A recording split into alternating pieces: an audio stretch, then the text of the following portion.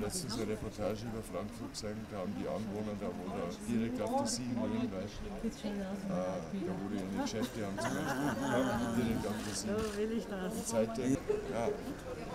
Ja, und dann mit ganzen Liege heiß Scheiß. Das muss da also was. Geschäft einfach sagst, jetzt kommt die Kundschaft wieder rein, hast du gar nicht so verkehrt gemacht. Also, Genau. mein anscheinend. Aber ich habe halt